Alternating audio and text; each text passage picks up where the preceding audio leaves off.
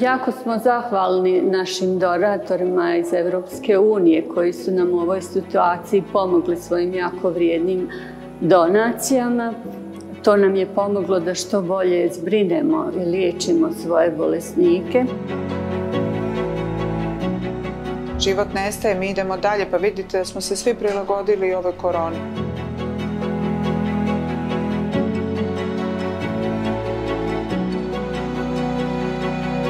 Naročito su nam uskočili pomoć u pravom najtežem momentu.